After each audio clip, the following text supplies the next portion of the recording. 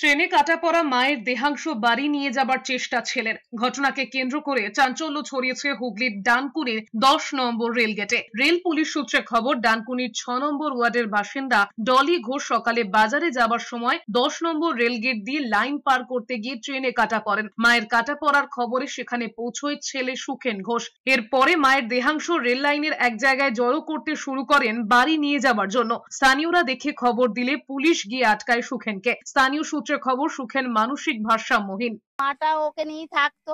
মা বাটা রাতে মানে মারামারি করেছিল। করার পরেতে সকালে তো দেখলাম অনেক কিছু বিক্রি বাটা করল ভাঙা চূড়া। তারপরে এই যে ছেলে হয়তো ঢুকিয়ে তালা মেরে দিয়েছে মার আগে চলে এসছে। এখানে এসে বসেছিল খানিকক্ষণ। দেখ ওই পারে গিয়ে একটু জল চেয়ে খেয়েছিল। জল চেয়ে খেয়ে দেখছে গাড়ি আসছে এসে শুয়ে।